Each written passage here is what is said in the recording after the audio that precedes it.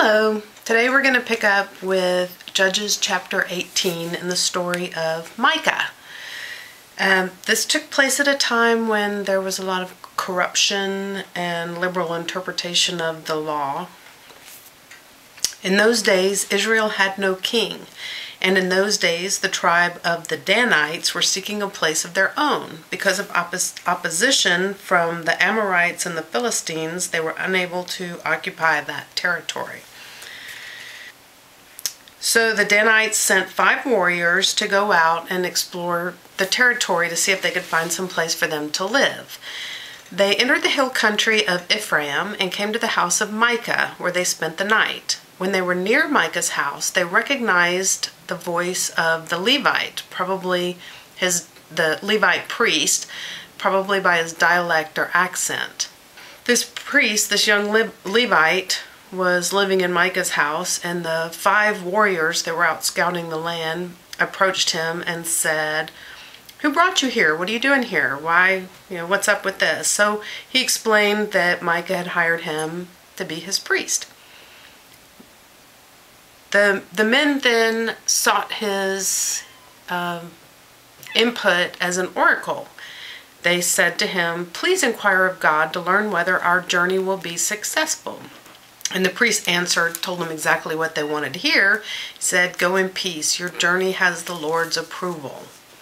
So the five men left and came to Laish, where they saw that the people there were living in safety unsuspecting and secure. They had no alliances, just a, a peaceful people. So they returned to Zorah and Eshtaol and told their brothers that they could come attack, that things were peaceful and that they weren't going to run into a lot of opposition and they could come take over this territory. So 600 men from the clan of the Danites, armed for battle, set off from Zorah and Eshtaol and went to this land where the people were living peacefully. They came to Micah's house, and as they came up to Micah's house, they went into the to the household and took the household gods and the idols. And then they approached the priest and told him to come with them. And he said, Why should I come with you? And they said, Well, wouldn't you rather lead 600 men than live in one house and just be a priest to one? So they appealed to his ego, and the priest went along with them. Now Micah comes out of his house and says, what are you doing? How can you leave me here? And the priest said, hey, I'm going with them. And Micah shouted out saying, you took the gods that I made and my priest and you're leaving with them. What else do I have?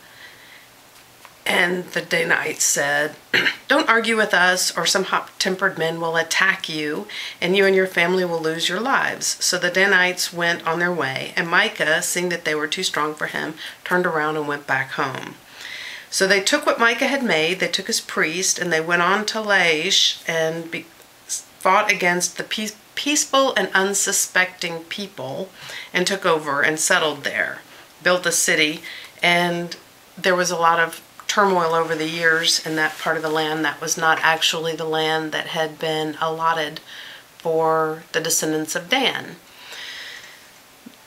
The point of the story that I take from this uh, that really touches me is the the the situation for Micah, who is a man who should be believing in God and has a Levite priest who comes to him and could lead him in godly ways. And instead, the priest succumbs to the idols and the ego and all of the corruption that's going on there. And poor Micah is so lost when his priest and his idols are taken away and says, you know, what am I to do?